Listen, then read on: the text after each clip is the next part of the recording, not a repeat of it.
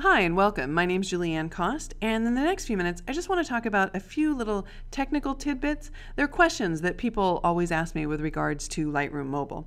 So, the first one has to do with working with offline photos. Say, for example, you know that you're going to be on a plane or somewhere where you won't have access to the internet or to Wi Fi. If you want to work with your images while you're offline, you can tap on any collection and then choose to enable offline editing. And that will tell Lightroom to download those images from the cloud to your local device. When you're finished making your edits and you go back online, Lightroom will automatically synchronize all of the changes that you've made to your images. If you ever want to remove those images from your local device after you're done editing them, you can tap the three dot icon again and then choose to disable the offline editing, and that will remove those images from your local device. You'll still have access to them if you're online, but again, if you go offline, then you would no longer have access to them. You can also choose to have Lightroom Mobile only sync over Wi Fi. I get that question a lot. If I tap the Lightroom icon, the first option there will either enable or disable this feature.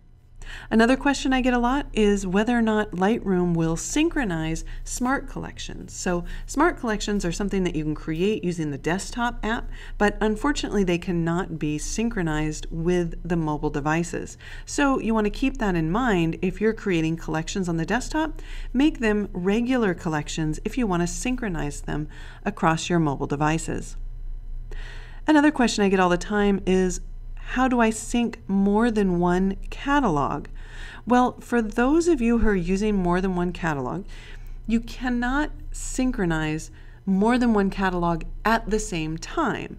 So let's say you're creating a catalog per client. If you want to synchronize the first catalog of client A, you can do that and work on those images on your mobile device.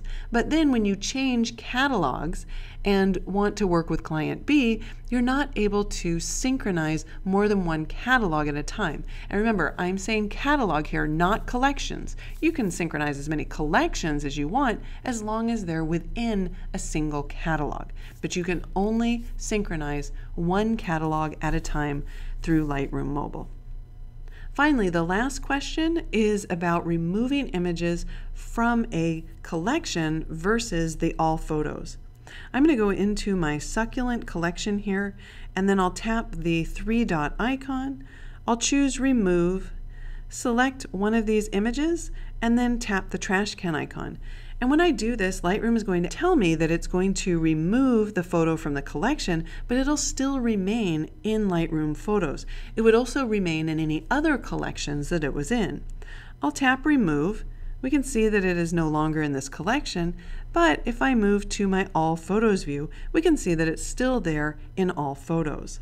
If I were to tap the three dot icon here in All Photos and choose Remove, and then select an image, well, this time Lightroom is going to warn me that the photo will be removed from Lightroom Photos and any corresponding collection. So that means that it would no longer be accessible in this All Photos view. So I'm going to tap Cancel because I still want access to that photograph.